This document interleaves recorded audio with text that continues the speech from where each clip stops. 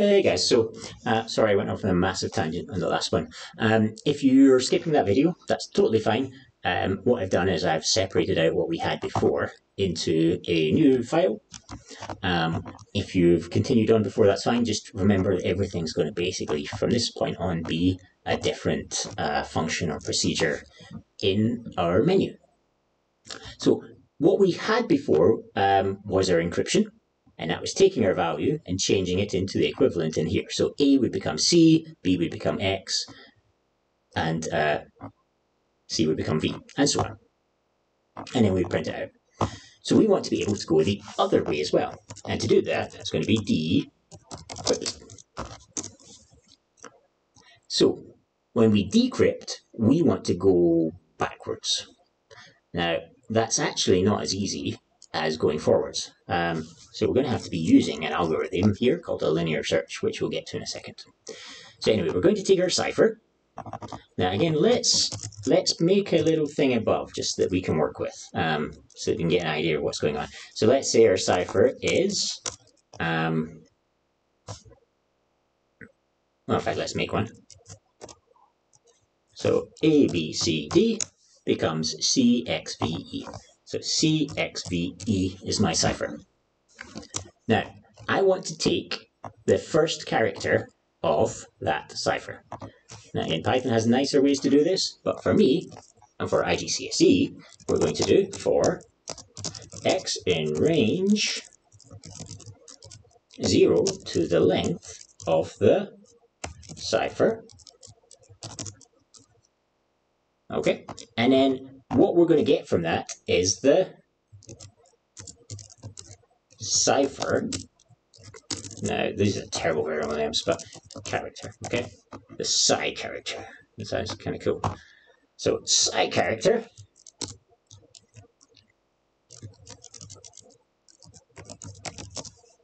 is going to be equal to the cipher at position x. Oops, cipher at position x. Okay, so this is our cipher. So cy character, uh, let's maybe just write it here, cipher equals, so that means that cy character is going to equal, first time is going to equal c. Okay, now what I have to then do is look up the cipher character in my key. So I'm going to have to go through every character in here and find which position is that letter in. So for example, C is in position 0.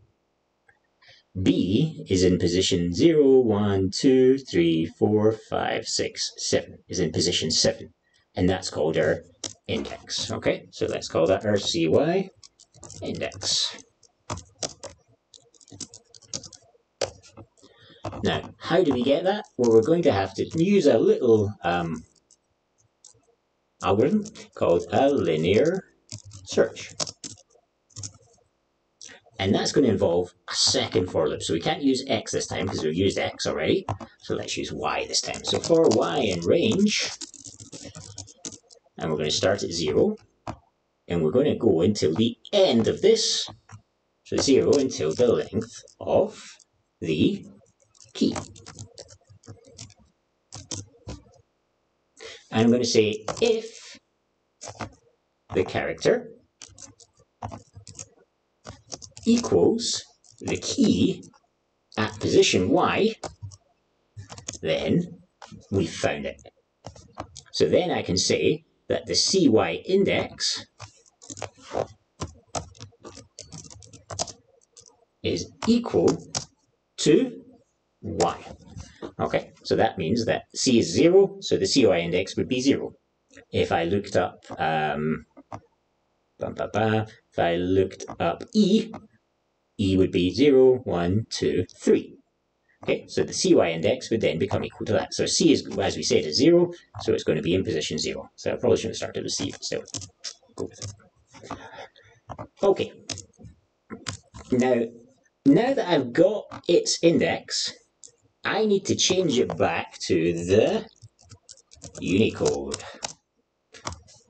Now, again, we're not dealing with Unicode today, so you're going to have to deal with that if you've no idea what Unicode and ASCII are. But we already said that 97 is the Unicode for the first letter, which is a small a. So if I wanted to change the index to be the Unicode, I would then have to add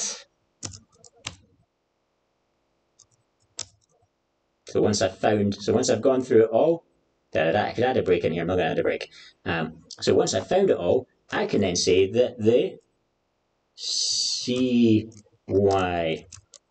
Unicode is going to be equal to the index that I found it at. Now this is making a massive assumption that I found whatever they've entered, but uh, okay, we can deal with that later. Plus 97. So C is 0, so plus 97 should then become equal to an A. So the CY Unicode is going to be equal to 97. And that means that my plain text character is going to equal an A. So how do I convert from the plain text character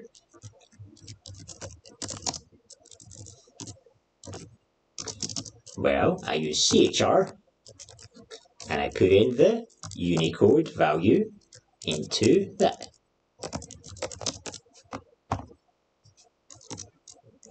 Okay, now that's only for one letter, so I then have to remember to append that to my uh, I could use plain text. I'm just going to call it new plain text, just so that my code doesn't get messed up. So I'm going to call it new pt equals new plain text plus the new character that I have found. Now, fingers crossed, if I then print my new plain text, and this is a very fingers crossed, um, it should then give me what the original cipher that was printed above it is. Okay, so let's see. So A, B, C, X, Y, Z. So again, it's always good to check the boundaries. Oh, oh, new PT is not defined. That's not good.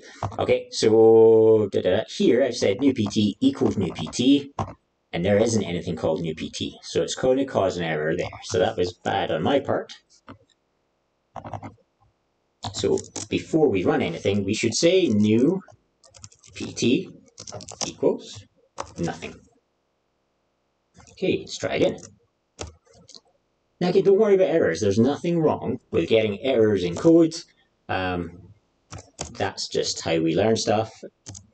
And it's one of the good things about computers uh, is that we can run stuff again and again and again. It doesn't matter. Anyway, so our cipher is going to be the same as before, but then when I decrypt it, it's converting it back into the original message.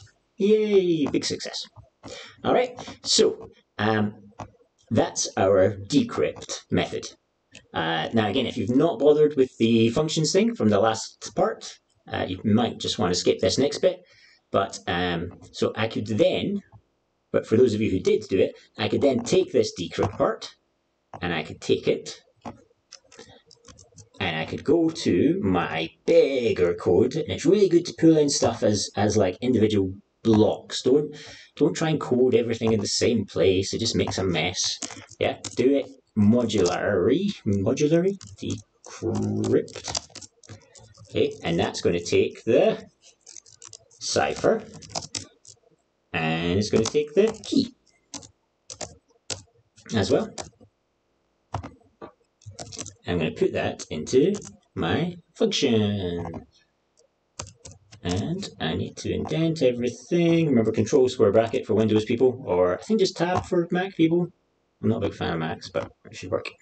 Okay, and then it's going to print the new uh, thing down here, or I could possibly return it. Um, let's just print it for now. Okay, so instead of saying printing, sorry that's not available yet, I can now call my decrypt function from up here.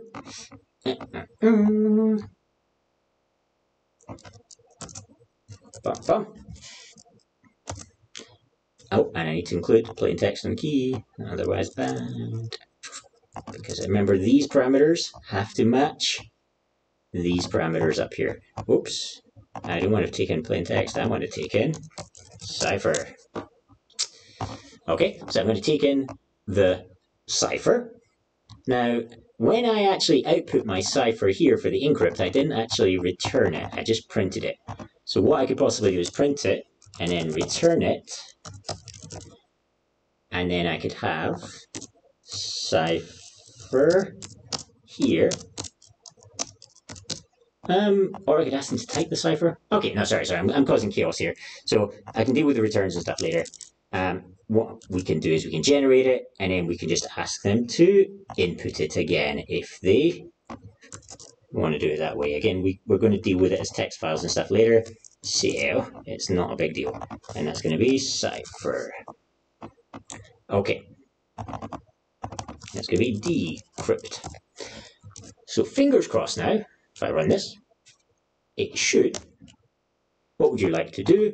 I would like to decrypt. Oh, sorry, no, no, no, no. Let's encrypt first. I would like to encrypt. Uh, hello. Uh,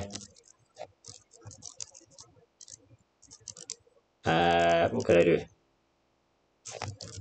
Hello world. Now, I'm not going to do spaces yet because my program can actually deal with spaces, something we need to work on, um, but it's easy enough to deal with spaces later. Okay, and that's going to be that. Okay, so that's my cipher. I'm going to take that cipher and I would like to decrypt it. Oops. I'd like to decrypt it. I'm going to paste it in there. And that did not work at all. Oh dear. Okay, so what have I done wrong? Bum, bum, bum.